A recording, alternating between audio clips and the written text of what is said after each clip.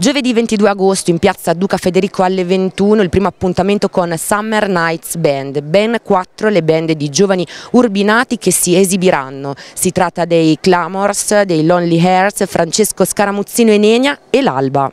Abbiamo voluto come amministrazione comunale creare un'iniziativa che fosse in una settimana in cui le grandi manifestazioni o erano finite o stavano per iniziare. Quindi abbiamo voluto dare un'opportunità a tutti gli urbinati in una serata dedicata alla musica di poter avere una bella iniziativa.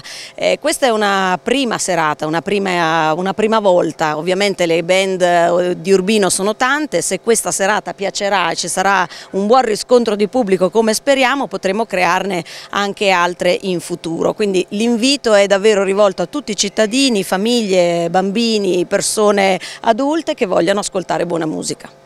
L'inizio di una collaborazione tra Assessorato alla Cultura e Assessorato alle Politiche Giovanili per animare eh, le serate di Urbino con attività per tutta la famiglia appunto. È proprio così e ho apprezzato molto l'iniziativa eh, della collega Ottaviani eh, che segue gli eventi di dare subito spazio ai giovani perché eh, si partirà con queste band anche di giovanissimi e eh, credo che un'amministrazione pubblica debba oltre che trovare spazi in cui i giovani possano fare musica come alla Casa della Musica però debba anche trovare occasioni e momenti per far esibire questi ragazzi e per fare in modo che tutti possano apprezzare talenti che stanno fiorendo e sbocciando.